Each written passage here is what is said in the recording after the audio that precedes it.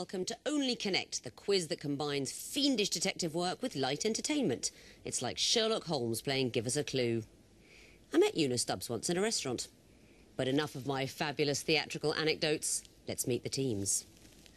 On my right, Henry Patinez, a committed bibliophile who draws lines through dots for a living and has worn the same shirt for every one of his Only Connect appearances. Nick Mills, a software tester who owns over 2,000 books and is in the 10th year of a long distance relationship.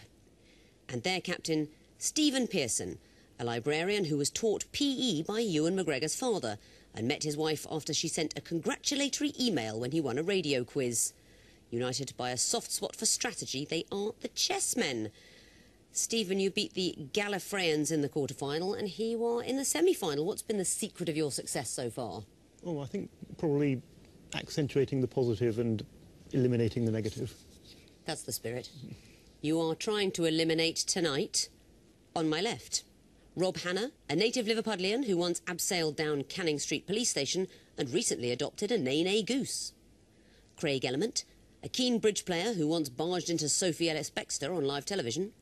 And their captain, Gareth Kingston, a marketing manager who, in 2006, spotted a former Secretary General of the UN in a shopping centre. Like Jethro Tull, they are living in the past. They are the History Boys. Gareth, you beat the linguists in your quarter-final. Mm -hmm. What's been the secret to your team's success? I think we've prepared quite well. I think we've been very good at analysing where we could improve, and we've had luck and ridden it. Well, both teams have done brilliantly to reach the semi-final, but only one of them can make the final. We will decide that by playing a quiz and looking at who's got more points at the end. History boys, you won the toss, so you'll be going first. Please choose an Egyptian hieroglyph. Could we have the lion, please? The lion. What is the connection between these clues Here's the first. PHP, hypertext, well, this is a, a language, isn't it? Um, do we want to go next? Next, please. GNU's not Unix. Are these cam campaigns? GNU's not Unix. Um, this is this is computing related anyway. It is, yeah, definitely. Should we go next? Next, please. The TTP project. What's I don't know what that is. Um, it's, it's, all computer related. It is. And it's, it's a computer campaign, hypertext preprocessor It's open source. Next, please. Wine is not an emulator. Are these campaigns? Um, to do with computing languages. Three seconds. This is to do with computer programming and campaigns. Not the answer, I'm afraid. So, chessmen, you have the chance of a bonus point. Well, uh, Henry tells me it's either a, called a recursive acronym or a backronym. They are recursive acronyms. Henry, what do I mean by that? It's using the word GNU as part of the acronym. So, anyway, uh, that's how I would describe it. that's right. If you look at the words, they almost spell themselves. PHP, those are the opening letters of PHP Hypertext Preprocessor. GNU GNU, GNU is not Unix, they are mostly computer languages. The TTP project is something in the Dilbert cartoon. Dilbert is asked, would you like to join the TTP project? And he says, maybe. What does it stand for? And they say, TTP stands for the TTP project. Recursive mm, acronyms. Well spotted. So you get the bonus point, and it's your turn to choose a question. Horned Viper, please. The Horned Viper. These are going to be picture clues. What connects them? Here's the first I don't know who that is. It's a guitarist, but beyond that, Okay. Uh, next, please. VHS. Or possibly Betamax? No, no, no it's, not Betamax. Okay. Uh, but next, uh, next, please. Oh, uh, I've seen that somewhere, but I mean, is it just a volume thing on it? Yeah, next. Uh, next, please. Go. Uh, ready, set, go, or something. But it shouldn't be a sequence. Oh no, no, it's it's, it's Ludo or Parchís or something. Um, and what does that? Or play. Does it all just mean? Three seconds. Um, Ludo. Uh, play. Play is not the answer, I'm afraid. So, History Boys, you have a bonus chance now. Um, uh, they all have the word muse related to them. They do not. And that's not Muse in the hmm. first picture, it's Placebo. It's ah. Brian Molko, the lead singer of Placebo, taking its name from the Latin for I will please. Video, Latin for I see. Audio, hmm. I hear. And you recognised Ludo, which does mean I hmm. play. They all take their names from first person Latin verbs. So no points there, but history boys, you've got the chance with another question. Eye of Horus, please. The Eye of Horus. What is the connection between these fiendish little clues? Here's the first. Lanthanides, well, this is. Yeah. Next, please. Gaelic football team. How many players? How many players on the Gaelic football team? 15 or 18. Should we go next? Yeah, I think so. Next, please. UN Security Council. How many people in the European Security Council? 15, isn't it? 15, should we go? Yeah, I think it's 15. 15. They all have 15 members. Well deduced. You didn't need to see the Scottish jury in a trial. There'd be 15 of those. What can you tell me about the first clue? Uh, there are 15 lanthanides on the periodic table. That's right, they're consecutive elements from lanthanum to lutetium. 15 consecutive elements known as the lanthanides. You get 15 players on a Gaelic football team, not played very widely, mostly in Ireland and America. And the UN Security Council also has 15 members. Well done. Chessmen, your turn for a question. Uh, water, please. Water. What is the connection between these clues? Here's the first. It's not, I mean, it's S-P-A-R. is what it- But should we go? Yeah, What that go- means? go- go Uh, next, please. Oh no, is it? It's Aldi. Spar Aldi. So they're all discount supermarkets in German. Um, yeah, yeah, go for it. Okay. Go for it. Yeah, yeah, German discount or, supermarkets. well, dis- yeah, who become acronyms. Well, they're discount supermarkets, and do you want any more than that? They are all supermarkets. Whether they're discount supermarkets, I suppose they all offer discounts from time to time, but they are all supermarkets. You spotted Spar and Aldi. You didn't need to see Asquith and Dairies, which would be Asda, or T.E. Stockwell and Cohen Tesco. They are all supermarkets. Well done. Back to you, history boys, for a choice. Twisted flax, please. The Twisted flax. What is the connection between these clues? Here's the first. Next, please. Pamela's suitor in Pamela. This, so these are things in, related to a, a novel, uh, something that can have in common these particular things. Should we go next? Next, please. Mr. Wickham's regiment uh, is, is something of foot. I don't know. The regiment of foot. Um, should we go next? Next, please. The year Treasure Island. Uh, it's going to be some. Um, opening chapters or closing chapters? what's the year in Treasure Island? What year is Treasure Island? in? I don't know. Oh, is it the same number? Yeah. Oh, right. Well, it will be. Um, Three seconds. 14. Not the answer, I'm afraid. So, chessmen, you have the chance of a bonus point. Uh, well, It's not named. I think they just refer to it as the regiment. um, they're, they're, So- they're just called the regiment, the year, the suitor, and the boulevard.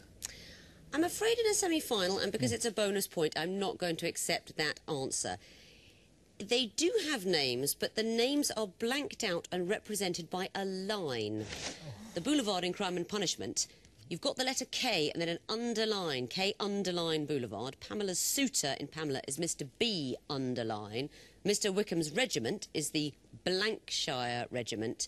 And Treasure Island, I take up my pen in this year of grace 17 underline. So it's all cases where actually a line represents something missing, which they would put into books to give a sense of greater realism, as though this is a real thing that I can't tell you.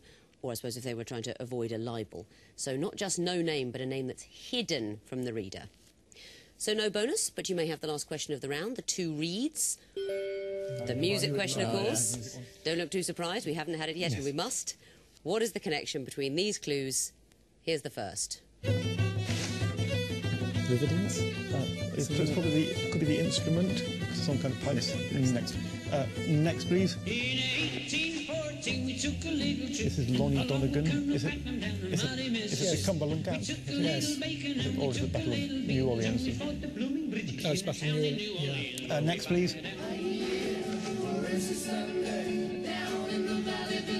Oh, I know this one. This is um, yes, isn't it? Next, next, next. Uh, next, please.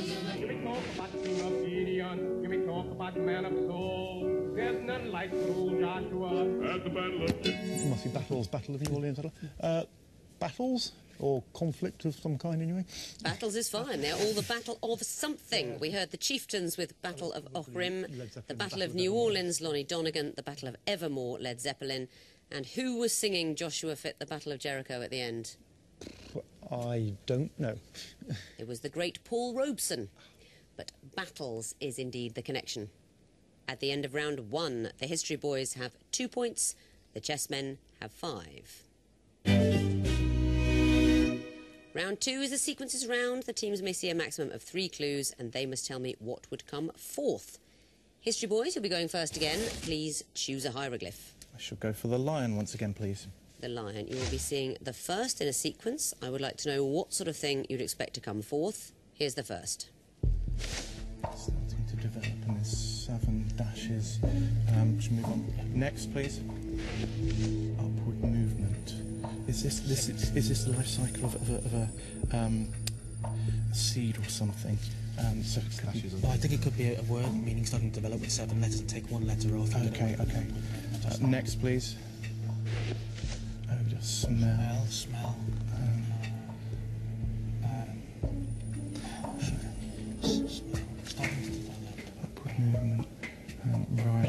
Are these touch, taste, smell? smell? Three seconds. A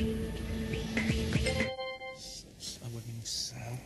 Um, to see With four four dashes. dashes underneath. Not an answer that fits the sequence, I'm afraid. So, chessmen, another bonus chance. Uh, French for French for 100, open brackets, dash, dash, dash, dash, close brackets. is an acceptable answer. We went with small coin and four dashes.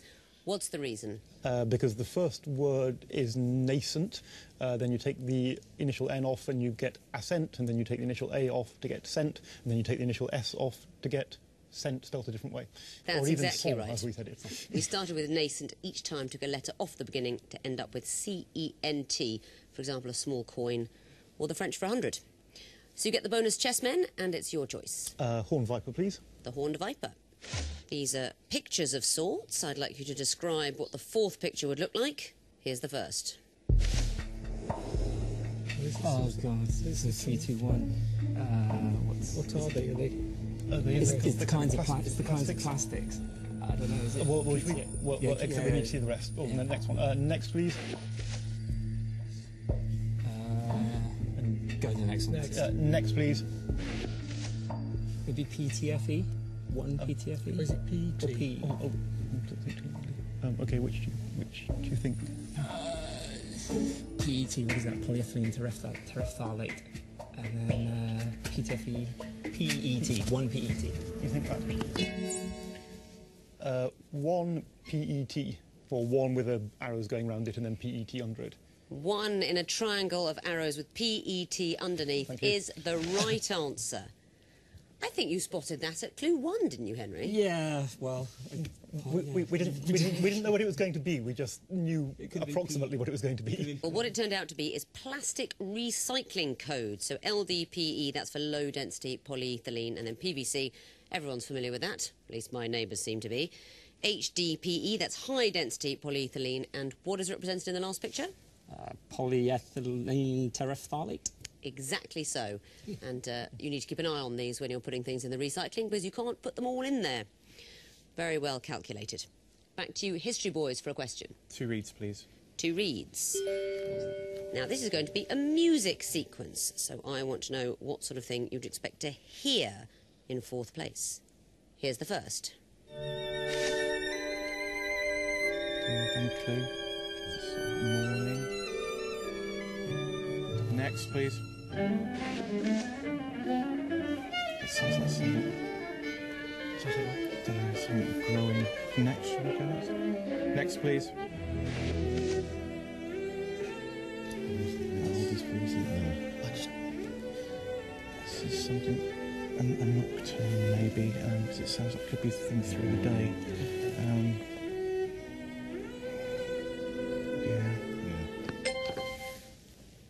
A nocturne of some type. Be more specific. Moonlight. Sonata. So, like Moonlight Sonata, something that's related to the evening or nighttime. Not the right answer, I'm afraid. So, chessmen, you have the chance for a bonus point. Well, our best guess is that it would have to be something like a double bass concerto, but we don't know if anybody's written one, but we'll say a double bass concerto. I will accept a double bass concerto. You're thinking perhaps of the concerto for double bass by Koussevitzky. Uh, of, course, that's right. Yeah, yes. yes, yes. We heard Brahms' Violin Concerto in D major, Bartok's Concerto for viola, Elgar's Cello Concerto in E minor. The stringed instruments are getting bigger, so I wanted to hear a concerto for double bass. Sadly, in the music sequences, we don't get to hear the last clue, but uh, I think we all know Koussevitzky's concerto for double bass. So, one, two, three. That's about the gist. Very nicely played. Chessmen, you get that bonus, and it's your choice. Uh, water, please. Water. What would be fourth in this sequence? Here's the first. Oh, that's is that lyrics? No, it's um, uh, it's uh, Talking Heads. Uh, you were living in a shotgun yeah. shack as the days go by. Uh, uh, Uh, give it it- we need- I live? need Yeah, uh, next, please. You could be living in another part of the world. Oh, wait, so is this going backwards or forwards in the can't, I, song? I can't remember. Uh, okay, next next, please. Uh, is it I might find myself? Behind the wheel of a large automobile. You might. Find myself. Oh God! I don't want to start singing it. Find myself. you might find yourself behind the wheel of a large automobile. Three seconds. I need an In answer. a, in a strange. Is it strange town? Yes. Uh, is it strange town? Not the answer, I'm afraid. So a bonus chance for the history boys now. With a beautiful wife. With a beautiful wife. Not the answer, I'm afraid. You jumped a bit. A beautiful house. It is the opening lyrics of the Talking Heads song Once in a Lifetime, and you might find yourself in a shotgun shack. You might find yourself in another part of the world, behind the wheel of a large automobile, and the next thing you might find yourself in is a beautiful house with a beautiful wife. But the house comes first. So close, but no bonus for you, History Boys. You may, however, have the last choice of the round. I have Horus, please. The Eye of Horus. What would come forth in this sequence? Here's the first. 300 Diocletian and Maximian. Um, should we go next? Let's go on four, five, six hundred. Next, please. All down to zero. Septimius Severus. So 100 and then zero. zero. So So zero. zero. Who was? Um, it would be. Would it be August? when when Jesus was born, was it Augustus? Um, because it was or Tiberius. Um, it was Augustus, was it? I thought it was Augustus, but I'm not certain. Shall we go for it? Well, the next clue's not going to help. That's not Yeah. going to help us in those. Zero Augustus. Coming in after two clues, I will give you three points. Really, you should have said 1 BC Augustus, because there isn't really a zero. Okay, yes. But you're right, we're going back, as I think you know, a hundred years each time and looking for the names of. Uh, Roman emperors. That's right. And in the year 300, there were two, Diocletian and Maximian. They sort of split it up, the empire, between themselves. 200, it was Septimius Severus. 100, Trajan. And in what some people call the year naught, but I, I would. correctly 1 BC, the Emperor Augustus. Do you know what uh, Septimius Severus's advice to his sons was? Don't know. Very good advice. Polonius is often quoted. Not enough people quote Septimius Severus. His advice was be harmonious, enrich the soldiers, and scorn all other men. That's the spirit. Back to you, chessmen, for the last question. The twisted flax. What would come forth in this sequence? Here's the first. Apple. Is it things you walk down in that song? Uh, in the- Walk down. well, well, Yeah, yeah, next, yeah. next, please. Oh, no. No, probably not. Uh, should we go next? Uh, next, please. Oh, it's So well, St. Peter Port is. it's somewhere in the Channel Islands, isn't it? Is that the capital of Jersey? Is that, is that the capital of Jersey? Because I believe the capitals of No, it's ascending of- Guernsey. Okay, so, That was- so we're at the St Helier then. Is it the capitals of ascending? So is it St Helier is the capital of the, the biggest one? Is that the best one? Right, right. St Helier? The answer is St Helier. You were debating whether or not these were capitals of the Channel Islands. Well, the first one, Sark, doesn't actually have a capital. The Avenue is the largest settlement. So the largest settlements on the Channel Islands in increasing order of the size of island, with the biggest island, Jersey, at the end, and its capital, St Helier. So at the end of round two, the History Boys have five points, the Chessmen have 11. I think it's time for a horrible semi final connecting wall. Chessmen, you'll be going first this time. You've got the choice lion or water. Which would you like? Uh, water, please. OK, you have two and a half minutes to solve the water wall. Starting now. Asher, oh, hang on, there's Benjamin, Joseph, Sim, Simeon, Gad, Asher. I think those are the only sons of Joseph Yes. there. So there's Asher, Benjamin, Simeon, Gad, miss out Joseph. Asher, Benjamin, Simeon, Joseph, miss out Gad, miss out Simeon. Oh, right. Okay, so there are mountains. Logan, K2, Kenya, and Oy- Oyos de Salado are all mountains. So, And off I- K2, Mount Kenya, and Logan, are there any other? That could be a mountain, perhaps. Some of them. We'll mm, uh, try. Go for the man. Get, get, get it. So it's what is it? K2, uh, Logan, Mount Kenya, and Oyos. So we've missed. So we tried that four. If we you think it might be what that. so, so no, but let's assume that might be a mountain. So if we've missed out that one, we'll miss out that one. Miss out that one. Oh, right. Okay, right. Um, Three So strikes and you're out now. Popely on the, it's- it must be Pope on the ninth. Perhaps they didn't Or really exist because I can't see enough popes there. Oh, Eurovision Song Contest winners: Johnny Logan, Dana International. Quinn. No, not Dana International. Dana for Ireland, Johnny Logan for Ireland, somebody Quinn for Ireland, and I would imagine somebody Martin for Ireland. So perhaps I'm reasonably confident about that because I don't think any of those four look like Irish give it a go, Eurovision give it winners. give it. But we, um, Got a bit of time. well, let's give us a little bit of time to think about Leo the Ninth Simeon, Formic, K9. Well, he's a Doctor Who dog. Dog. Can they all be dogs? They could all be dogs, actually, fictional dogs. Formic. No, uh, formic, formic acid. Sid. Okay, K- oh, they're puns. puns. Oh, Uh, Leo 9. Leo Leo 9 is to do with alliance. Formic is to do with. Formic and acid, formic acid. Simeon K9. is to do with. Uh, Yes, uh, yes. the- And, right, Yes. so it's Martin, Dana. Dana, Logan, and Quinn. That is four points for the groups. You had an idea about what I can't leave you to chat. What about the connections? The first blue group, starting with Asher, what are they? They are sons of Jacob in the book of Genesis. They are four of Jacob's Joseph and the amazing 12 sons in the Bible. And the green group, starting with K2. Ah, they're the second highest mountains on their continent. They're the second highest mountains on their respective continents. Here's Ojos del Salado in the Andes, and where's Dichtau? I have no idea. Caucasus, the second highest peak in Europe after Uh, wow, well, uh, Mount Elbrus. Or Mount Elbrus would be the highest mountain. And the pink group, starting with Logan. We think they're some of the many people who have won the Eurovision Song Contest for Ireland. That is absolutely right. Johnny Logan, Dana, born uh, Rosemary Brown, Linda Martin, and Eimear Quinn, who won in 1996. Irish winners of Eurovision. And the last group, starting with Leo Ix, or however you choose to read it. They're puns on um, adjectives describing creatures. So leonine means like a lion, leonine. Canine, dog. Simian, some kind of Like ape, like ape. ape, like that's ape. right. And formic, like an ant. That is a perfect answer. They sound like adjectives pertaining to various animals.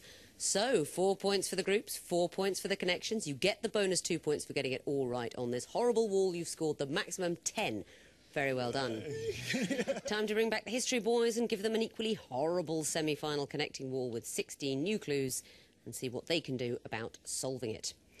History boys, you're going to be getting the lion wall because water's been taken.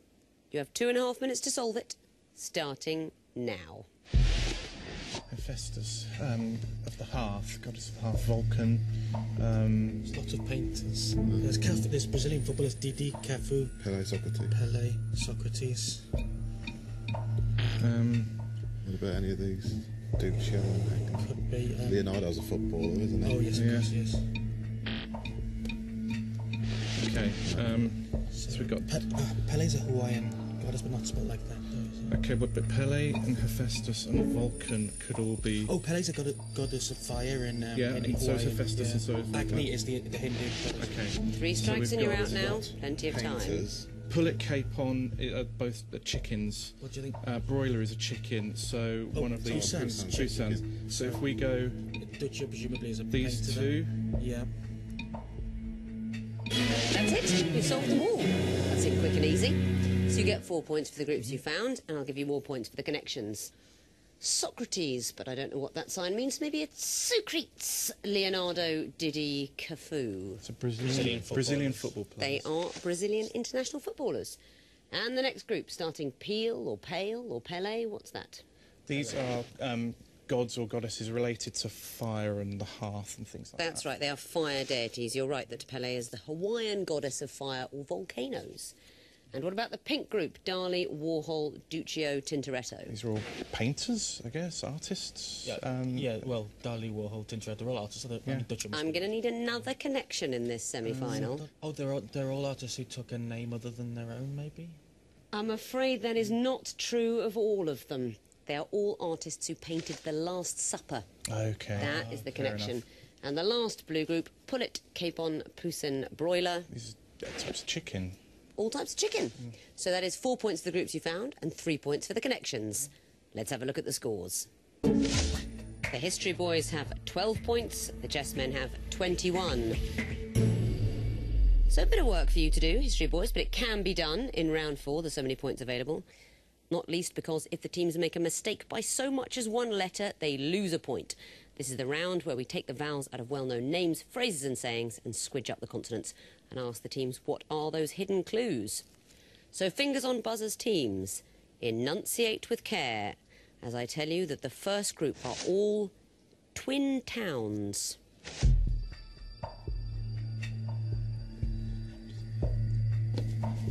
History boys, Liverpool and Rio de Janeiro. correct.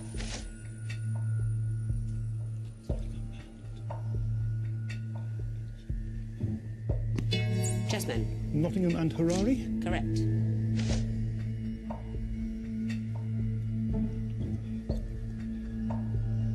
A very tricky one. It's Aberdeen and Bulawayo. Next clue. History boys. Perth and Perth. Correct. Next category, words you can type using only the top row on a QWERTY keyboard. History boys. Poetry. Correct. History boys. Pottery. Correct. History boys. Typer. I'm afraid not, because that would need a Y. Chessmen, do you know? Yeah, Topa. Topa or outpour is acceptable. Next clue. History boys. Quiet. Tea. I'm afraid not. Chessmen, do you know? Equity. Equity is the word. Next category, vowels. History boys. Schwa. An unstressed vowel. Chessmen, Murmur vowel. also known as a schwa. Chessmen, Indeterminate vowel. also known as a schwa. Chessmen, Diphthong. not a schwa. Next category, Antarctic geography. History boys. Ross Ice Shelf. Correct.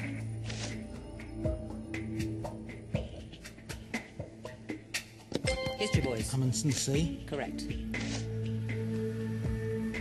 History boys. Mount Erebus. Correct.